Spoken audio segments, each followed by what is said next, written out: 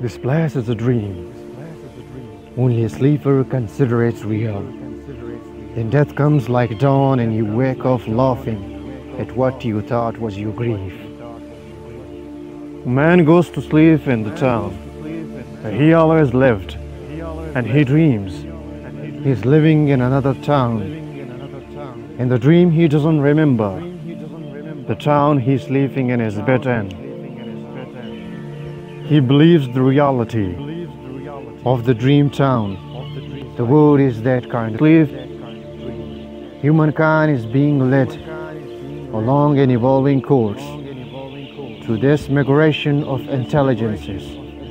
And though we seem to be sleeping, there is an inner wakefulness that directs the dream, and that will eventually settle us back to the truth of who we are, to the truth of who we are.